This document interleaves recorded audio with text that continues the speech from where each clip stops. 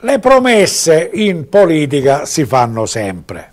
Ora mi rendo conto che eh, poter dire qualcosa a livello europeo non è facile perché insomma contare qualcosa è veramente eh, difficile. Poi si fanno le lobby, avete visto questo, questo servizio che è stato fatto da Report qualche giorno fa, straordinario, le lobby del cibo, no?